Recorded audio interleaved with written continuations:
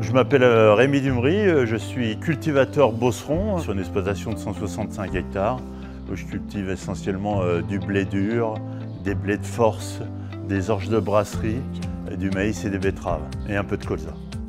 L'agriculture de précision, je suis tombé dedans quand j'étais petit. Je suis un passionné de nouvelles technologies. La fertilisation azotée, mais aussi tous les produits de protection phytosanitaire ont intérêt à utiliser ces nouvelles technologies qui nous permettent euh, d'appliquer euh, sur nos cultures de manière euh, complètement raisonnée et durable.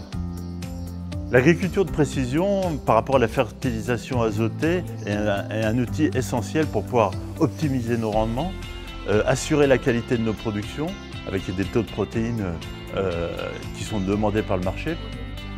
Ces outils ont été le N-Tester, ont été aussi des conseils par drone, par exemple. Cette année, j'ai testé AdFarm, qui est un outil plutôt de bureau, mais qui permet justement de faire des simulations et de bien préparer son travail au moment des épandages azotés. C'est vraiment un outil relativement simple et qu'on peut utiliser sur plusieurs apports. Et ça, je trouve que c'est une, vraie nouveauté.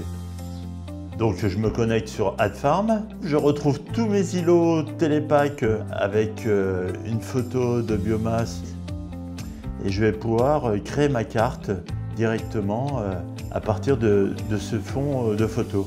Il suffit maintenant euh, de l'exporter au format qui va être lu par mon tracteur et que je vais pouvoir copier sur, ma carte PCMCA. Donc une fois que la carte est installée, il suffit de mettre la console en agriculture de précision, de trouver le fichier, et puis voilà, maintenant c'est le boîtier qui va faire tout le travail à ma place. J'aurais plus qu'à observer que tout se passe bien.